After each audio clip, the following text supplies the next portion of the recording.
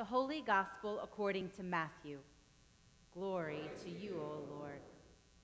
Jesus spoke to the crowd, saying, To what will I compare this generation? It is like children sitting in the marketplaces and calling to one another. We played the flute for you, and you did not dance. We wailed, and you did not mourn. For John came neither eating nor drinking, and they say, He has a demon.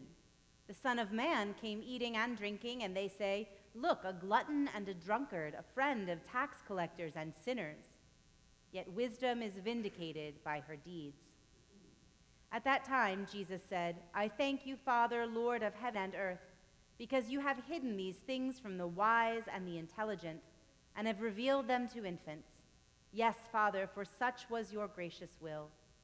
All things have been handed over to me by my Father, and no one knows the Son except the Father, and no one knows the Father except the Son, and anyone to whom the Son chooses to reveal him.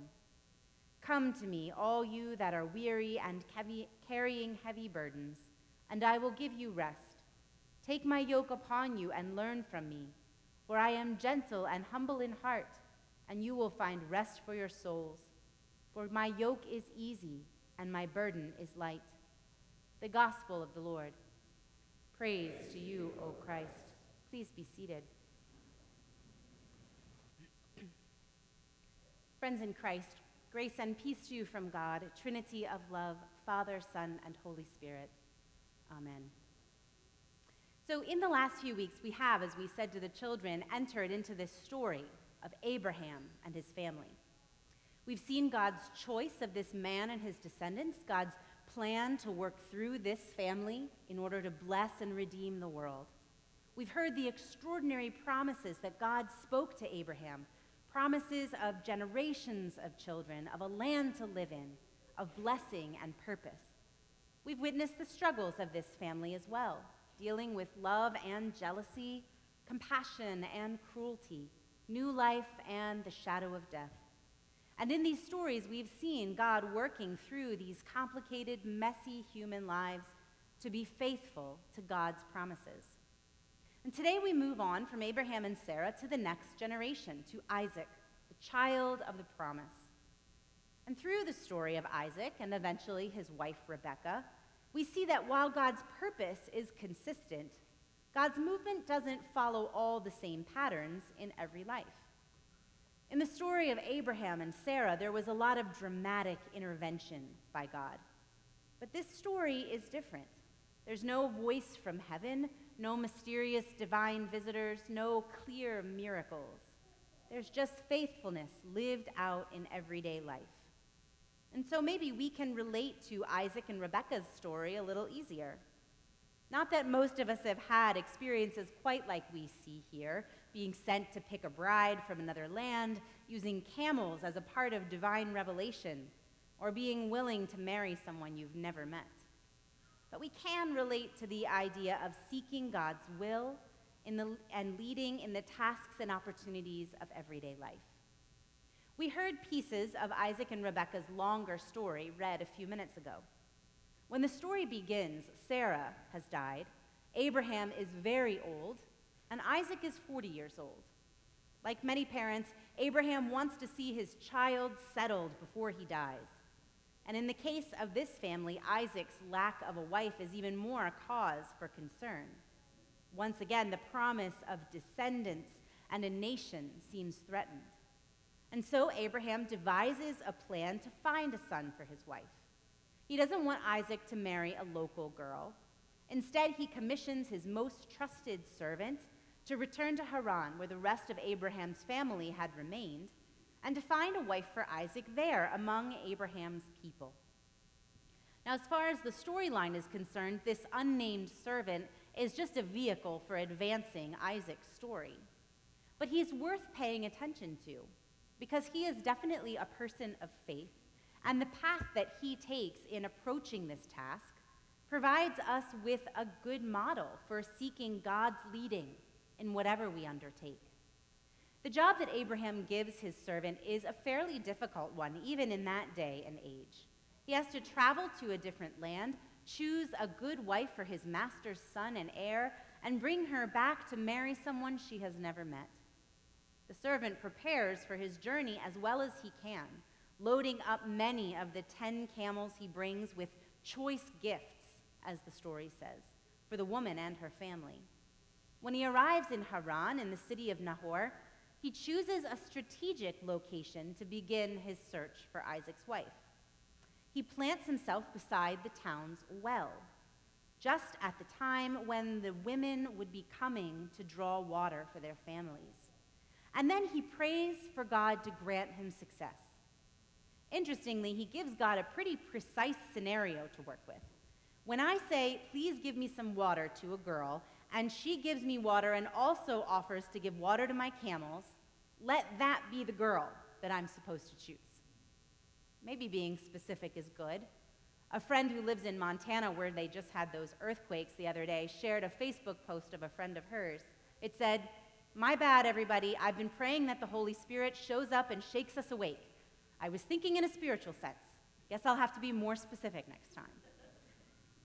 At any rate, in the case of Abraham's servant, he doesn't trust only in his own preparation and strategy, though those are important.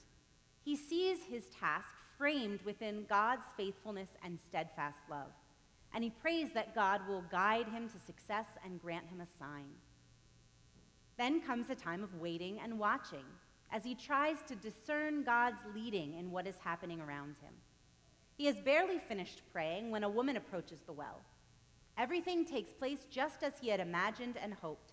When he asks her for water, she offers some to him and then gives water to his camels.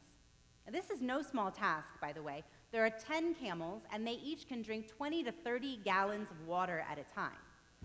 It gives the servant plenty of time to observe the woman and to look for signs of God's hand in what was taking place. Ultimately, he's pleased with what he sees. The woman is from Abraham's own family, and she has shown the generosity and the strength that he hoped to reveal. Having discerned that the sign he asked for has been fulfilled and that what is happening is God's doing, the servant is then quick to praise God, bowing his head in prayers of thanksgiving. The servant gives the young woman, Rebecca, costly gold jewelry and asks if he might stay at her house. When he arrives at her home, he is welcomed by Rebecca's family, including her brother Laban, who, as we will learn in future stories, has a keen eye for opportunity and appreciation for wealth. Right away, as soon as the servant is in the house, before he will even eat anything, he tells the family the story of what has happened, bearing witness to how God has been at work in their lives through this encounter. His testimony, and probably also his forethought in having brought lots of gifts, Convince Rebecca's brother and father that this is indeed God's doing and will. Rebecca is on board as well. When the men ask her if she's willing to leave the next day with Abraham's servant, or if she'd rather wait a week or so, excuse me, she courageously sets off, tracing Abraham's own journey of many years before, going where God's story is leading her. When they arrive in the Negeb, they find Isaac walking in the fields. Rebekah is introduced, and the story is told. Isaac marries Rebekah and loves her, and so the story of Abraham's family moves on to its next chapter. God's promises still unbroken. Through Isaac and Rebekah's story, just as through Abraham and Sarah's, God's promise is continuing to work itself out in the lives of this family. In some cases, there are the voices from heaven and the unexplainable miracles. In others, God intervenes which, with much less fanfare. And that's how it is for all of us. You may have experienced God's work in your life in any number of ways things that seemed dramatic and clear, or prayers that were answered, or just nudges that you didn't ignore. The servant of Abraham in today's story gives us a picture of what it looks like to be open and responsive to God's leading, however it comes to us. First, he prepares as much as he can, and then leaves it in God's hands. Trusting God's presence and work in our lives doesn't mean that we are just waiting for God to make everything happen. God works in and through real human lives in all their complexity, and our choices and our actions matter. God doesn't control all that happens like a master puppeteer. But neither is everything in our hands. God can use what we do and the circumstances we find ourselves in to accomplish God's purposes, weaving them into the story that God is writing. Abraham's servant does all that he can to ensure that his project has the best chance it can, but he prays for God to give it success that he is hoping for, to use what the servant is doing to reveal God's will and faithfulness. And then the servant has to wait and watch. He interacts with his surroundings, expecting God to show up, to be moving and guiding. He is alert to seeing what God is doing. He doesn't hear a voice from heaven or receive an angelic messenger, but by paying attention and trusting God, he becomes aware of God's leading. He's able to interpret his interaction with Rebekah as an answer to his prayer, a sign of God's presence and leading, not just a happy coincidence. Granted, it seems to be a much clearer and quicker answer to prayer than we might feel we often receive. But still, if we are not paying attention, we can miss all sorts of things that God is doing. And the servant has to be both alert and expectant to what is happening.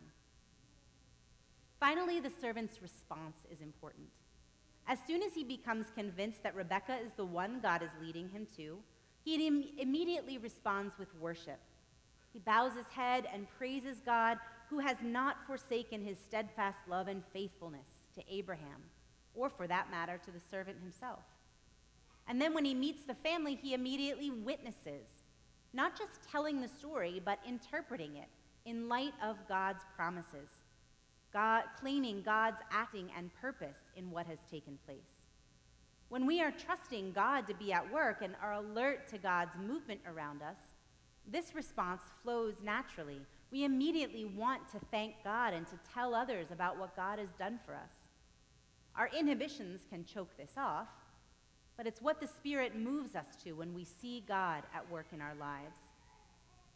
How has God been at work in your life this week? It's what these stories are calling us to pay attention to. God has promised to be moving in our lives, working for healing and renewal, forgiveness and reconciliation, conforming our lives to Jesus' own life, so that through us, God's blessing and new life can be made known throughout the world. God is always working those promises out in our lives, always breaking in to make them alive and transformative in us, in ways both visible and hidden. The weaving that is on our loom in the narthex has been growing over the last few weeks as you all reflect on that, weaving in fabric to represent your stories each week, in their beauty and in their brokenness. I hope you will all continue to do so, filling our loom with all of our stories. And hopefully, you've noticed the gold ribbon that is running across it, the thread of God's promise, unbroken. God is at work in our lives. In Jesus, we have the assurance that we too are part of God's chosen people, heirs to the promise, and that God's love for the world is so great that not evil or death itself can defeat it. May we learn from Abraham's servant this week as we seek to be faithful in the lives that await us when we leave these doors later today. May we take up his pattern, preparing and praying, waiting and watching praising and witnessing, for God will continue to be faithful. Amen.